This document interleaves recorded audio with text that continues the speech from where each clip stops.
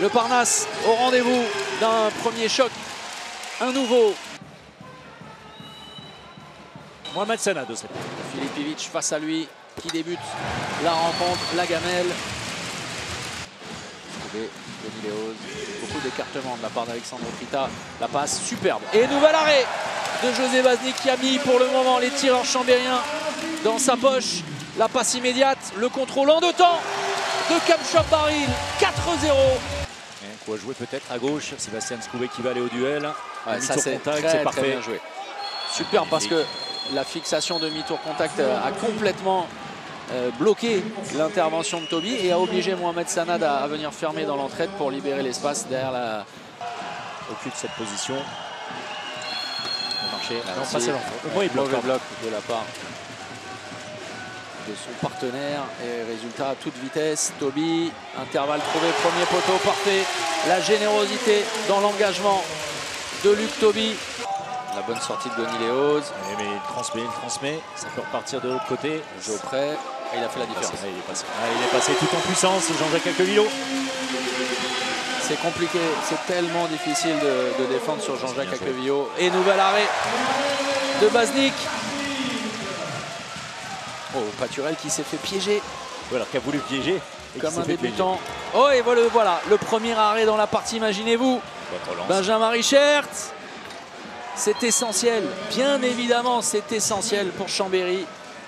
Et le bras qui, va, euh, qui ne va pas tarder à se, à se lever. Voilà, c'est fait à l'instant. Les 30 dernières secondes, Scoubé, la passe Allez, pour. Allez le chercher le plus haut possible. La dernière possession, les Nîmois préfèrent peut-être marquer rapidement. La solution, le ballon dans le visage de Benjamin Richert après l'intervention d'Alexandre Trita. Jean-Jacques Aquevillot en première intention. Luc Toby qui offre une bonne course. Et, Ça euh, il, va défend falloir bien. déclencher, il va falloir déclencher le poteau. Les derniers instants, il n'y aura pas assez de temps pour Benjamin Richert. On en reste là. 18 partout à la pause. Tout est à écrire. Et qui l'eût cru hein, après les premières minutes de jeu.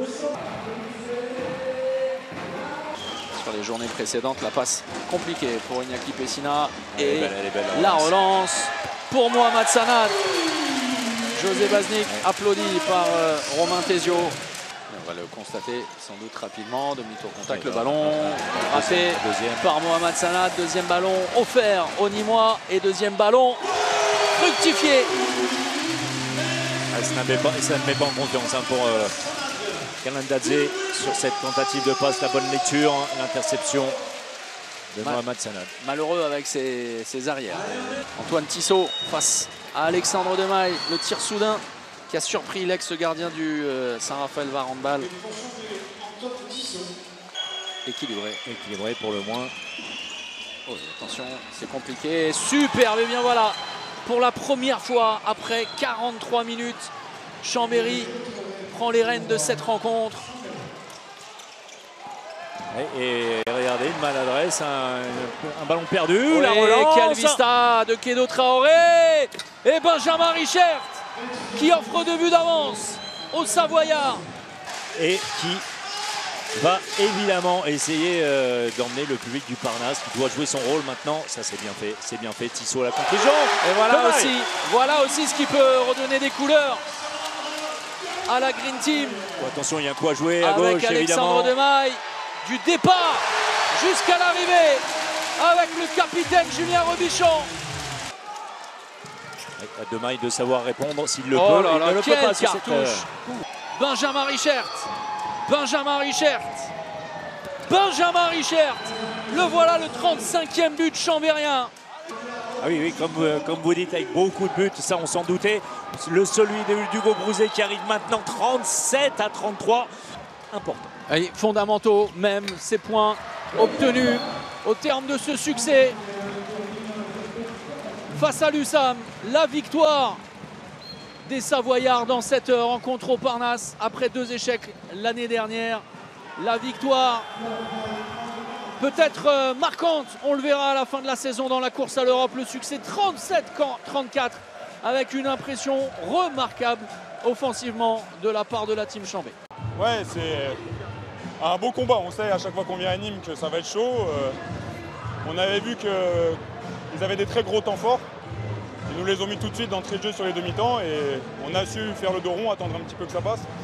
Et voilà, derrière l'engagement qu'on a mis, l'entraide qu'on a pu mettre défensivement et, et offensivement, il ben, n'y a rien à dire et, on a été tueurs sur ce match. Donc ouais, très très content de venir gagner ici. Euh, ouais, à domicile, prendre 37 buts, que ce soit Chambéry ou notre équipe, c'est compliqué de gagner. On a fait une bonne entame, 4-0, on fait une bonne entame de seconde mi-temps, on leur met pas la tête sous l'eau avec des immanquables, euh, beaucoup de tirs à 6 mètres euh, qu'on loupe dans des moments importants. On a bien couru, mais on a bien couru offensivement, j'ai l'impression ce soir, un peu moins dans le repli défensif. On a, voilà, ça, a été, compliqué, mais c'est un concurrent direct, c'est une défaite amère, mais il va falloir rebondir, il ne faut pas tout jeter. C'est dur parce que je pense qu'on perd Benji qui s'est fait mal au genou un peu, je ne sais pas si c'est grave. Doudou qui prend une aussi. Maintenant, voilà, il va falloir rebondir et c'est là qu'on va voir qu'on est une grande équipe.